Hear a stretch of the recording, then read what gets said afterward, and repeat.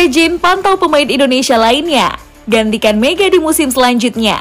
Ko Hye-jin cari potensi lainnya untuk Red Spark. Megawati dan Red Spark merupakan dua kesatuan yang jika dipisahkan sangat menyakitkan. Sebab ada kenangan tersendiri yang dibuat oleh Mega sewaktu bermain dengan Red Spark.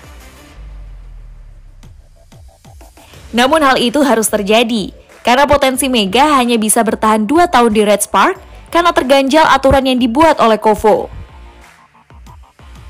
Kejutan Pro Liga kembali terjadi, setelah Kohejin ternyata pernah berjanji ke Mega saat tur Red Spark ke Jakarta untuk datang langsung ke laga final Pro Liga. Ko Hejin memberikan semangat ke Mega bahwa dirinya akan datang ke Indonesia jika Mega lolos Final Four dan akan memberikan dukungan langsung di tribun. Karena baru-baru ini, Ko Hejin juga telah menyambangi Vanja Bukilik saat Bukilik menjalani laga VNL yang berlangsung di Jepang. Tak ada kabar ataupun pemberitahuan sebelumnya, namun Ko Jin membuat kejutan spesial untuk Vanja Bukilik yang menjadi pilihan utama sang pelatih. Sontak Vanja yang melihat Ko Jin datang merasa sangat terharu dan terhormat. Karena meski belum pernah dilatih secara resmi, namun sang pelatih menunjuk rasa respeknya kepada Bukilik. Happy birthday to you. Happy birthday to you. 사랑하는 분기 생일 축하합니다. Hal inilah yang membuat Kohejin begitu dicintai oleh anak didiknya di Red Spark.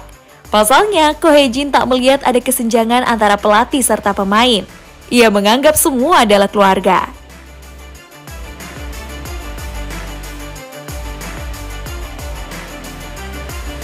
Dan datangnya Kohejin untuk melihat laga Final Four nanti, tak serta-merta untuk melihat Mega saja.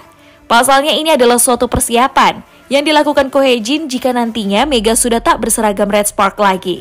Kohejin akan melihat potensi yang bisa direkrutnya musim depannya lagi, jika Mega akan memutuskan bermain di liga selain Korea.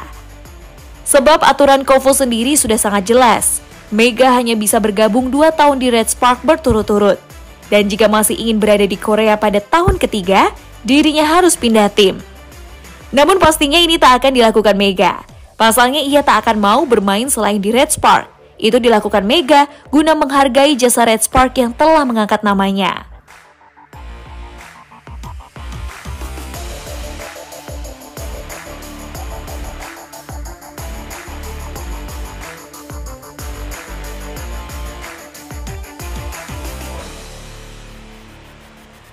Dan aturan Filik menyatakan bahwa pemain hanya bisa bertahan 2 tahun di tim yang sama.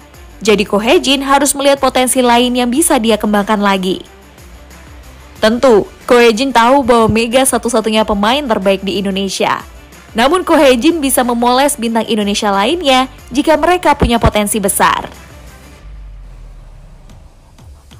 Saya mungkin akan datang melihat langsung Mega bermain nanti. Selain ingin mendukung Mega, ini saya gunakan untuk melihat potensi pemain lain.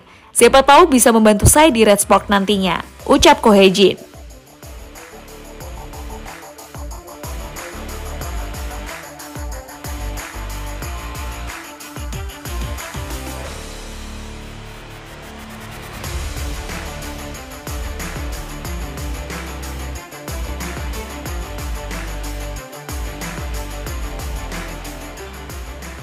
Dan pastinya kita tahu, pemain yang saat ini sedang dipoles PBFSI adalah Junaida Santi.